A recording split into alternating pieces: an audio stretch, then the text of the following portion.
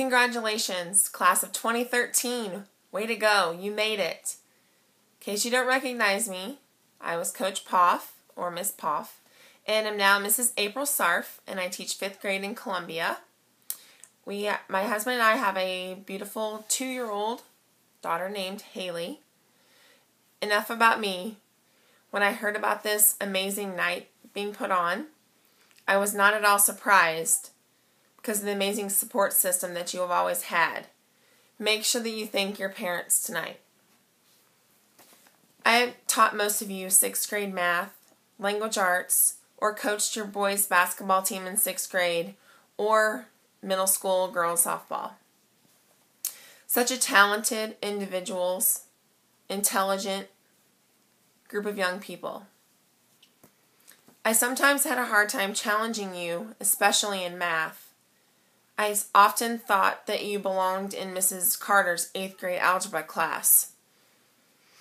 Many of you have provided me with lots of great memories. Specifically naming a few were Kate Moorhead, when you were in summer school, your kindergarten year, you play with my hair every single day.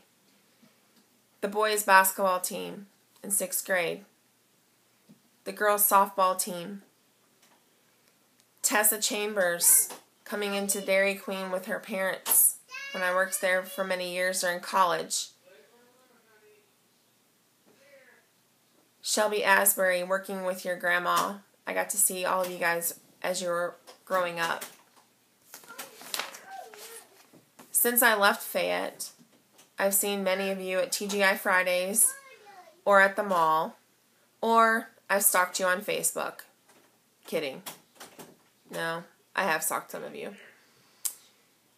I don't know all the sports, academic, music awards that you've won, but I did have a chance to view the award winning Spanish video put on by Zach, Kirby, Thomas, and Sam.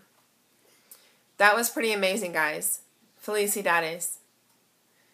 I can also picture Dustin, Kaylee, Nikki, Shelby Asbury, Zeke, Shelby Dodson, Anna, Kenzie, Caitlin, Lucy, Susan, Michael, Kelsey, Hillary, Samantha, Rashad, Sterling, Deborah, Holly, and the Harris twins running around the halls of Clark Middle School.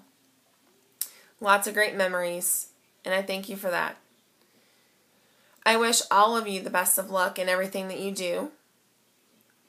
And I will leave you with these words Be positive, do the best that you can in everything you do, and Make the world know your name. And don't forget to look me up on Facebook. Congratulations and best of luck.